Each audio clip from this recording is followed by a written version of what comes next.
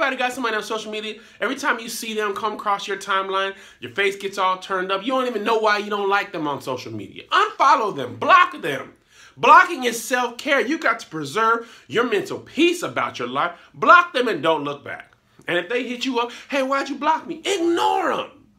Ignore people, delete their comments. Let them get frustrated, type out paragraph, long comments, and delete it. You know how frustrating that is to do all that work? I'm angry. I'm angry. Um, and, and then I just delete your comment.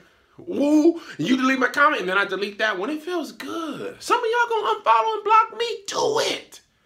Do what you gotta do to preserve your mental mind, your makeup. Unfollow them in real life.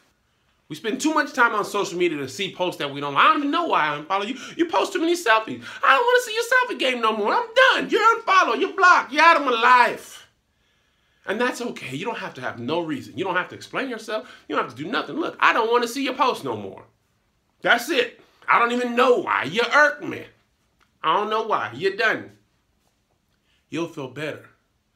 So much better. Just let them go. They bump into you in real life, you block. Why'd you block me? Just walk away.